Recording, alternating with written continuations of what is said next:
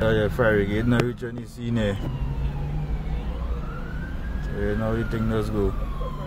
Carbon and down here.